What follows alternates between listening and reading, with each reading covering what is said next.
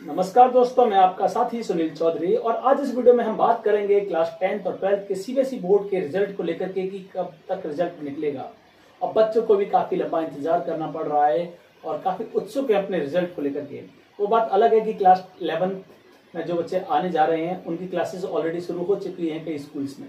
लेकिन फिर भी उनको जानने की ज़रूरत तो है ही कि रिज़ल्ट कब तक उनका आएगा। वहीं क्लास ट्वेल्थ के सीयूटी जो कि टेस्ट हो चुका है ट्वेल्थ के बाद जिस भी कॉलेज में एडमिशन लेंगे, लेकिन उससे पहले वो जानना चाहेंगे कि उनका रिज़ल्ट कैसा रहा। तो दोस्तों, चलिए बात करते हैं इस वीडियो में। अगर आप इस चैनल पर नए हो तो चैनल को सब्सक्राइब कर लीजिएगा। आखिर क्यों? आप यूट्यूब पर जब सर्च कर रहे होंगे कि पता चल रहा होगा आपको कि रिज़ल्ट कब तक आने वाला है तो आपको दिख रहा होगा कल आने वाला है, परसों आने वाला है। उनके थंबनेल्स को दिख करके यूट्यूब पर। लेकिन दोस्तों, मैं आपको बताना चाहता हूँ कि आखिर इन लोगों को कैसे पता चला कि रिज़ल्ट कब तक आएगा। लेकिन मैं आपको ये भी बताना चाहता हूँ कि इनको बिल्कुल कुछ भी पता नहीं चला कि रिज़ल्ट कब तक आएगा। क्योंकि सीबीएसई बोर्ड ने अपनी वेबसाइट पे कहीं भी मेंशन नहीं किया, कुछ भी पब्लिश नहीं किया कि रिज़ल्ट कब तक आएगा। कई सारे ऑलरेडी प्रीवियस ईयर में अगर हम देखें, जब भी रिज़ल्ट आता है तो कई सारे यूट्यूबर्स बोलते कल आने वाला है, परसों। लेकिन उसके एक हफ़्ता भी लग जाता है, दो हफ़्ता भी लग जाता है, और रिज़ल्ट तभी आता है जब सीबीएसई बोर्ड उसे डिक्लेयर करते हैं।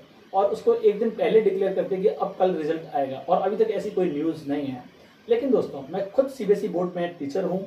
तो ऐसे में हम लोग भी कॉपी चेक करते हैं, हमारे अंडर में कॉपी भी चेक होती है।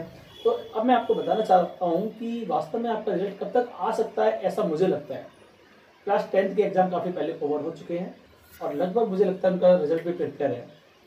शायद बहुत जल्दी ही आठ, नौ या दस मई में उनका रिज़ल्ट आ सकता है।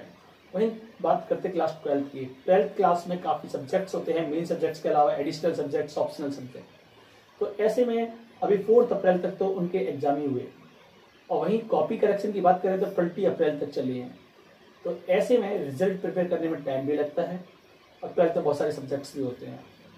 ट्वेल्थ की अगर बात करें, रिज़ल्ट आने की उम्मीद फिफ्टीन ऑफ़ मे तक है।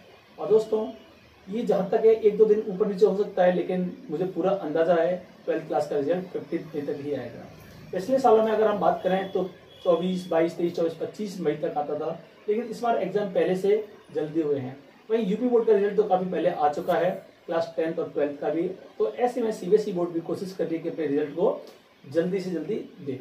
वहीं दोस्तों चैनल को सब्सक्राइब कर लीजिएगा विद बेल बटन क्योंकि आपको सीबीएसई से रिलेटेड काफ़ी इन्फॉर्मेशन आपको यहाँ मिलती रहे।